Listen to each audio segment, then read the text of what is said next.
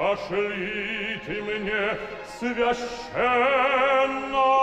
на власть благословение.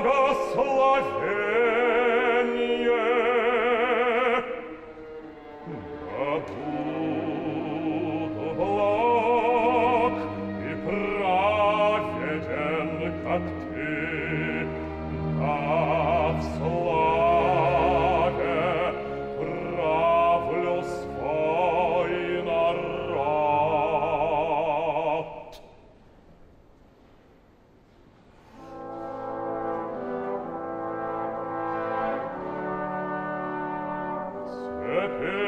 поклонимся очищим властителям Руси.